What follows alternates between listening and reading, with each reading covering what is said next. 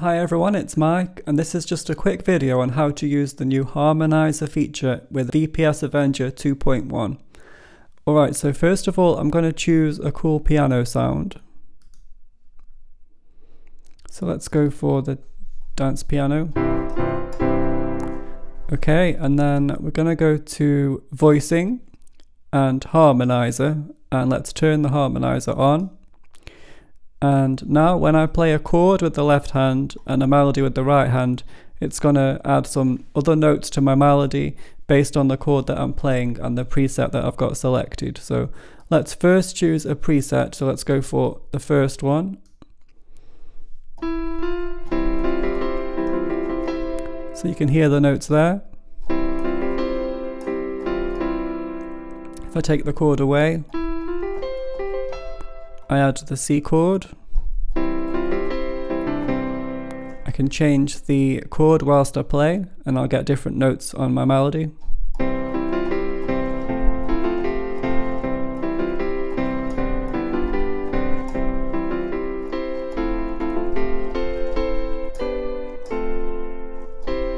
And there's loads of different presets. So we've got one called circular,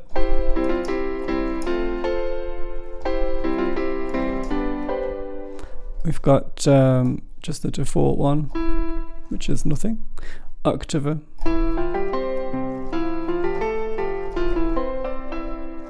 So that adds like a high and low version of that note.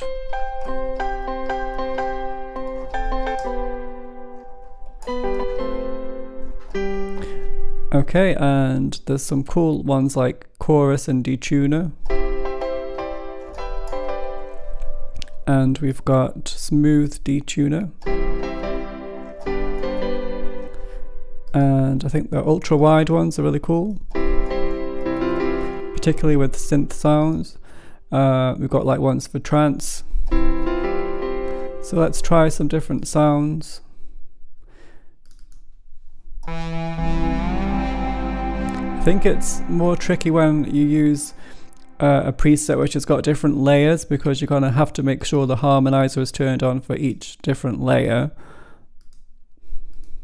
And of course, you've got to choose a preset as well or make your own preset um, with these controls. Let's go for circular. Let's try that.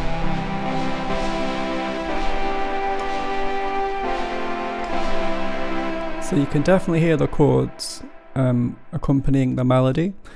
Uh, maybe let's try one more sound. Let's go for Dutch lead. So let's add harmonizer on. Let's choose uh, Alfarm and harmonizer. Let's maybe add an octave to this one.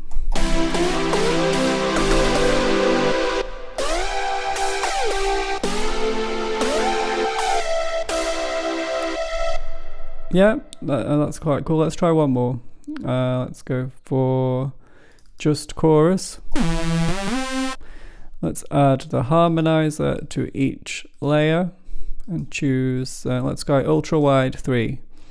So if I add three ultra wide threes, is it going to sound very wide?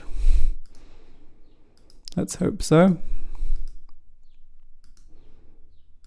Okay, let's try that.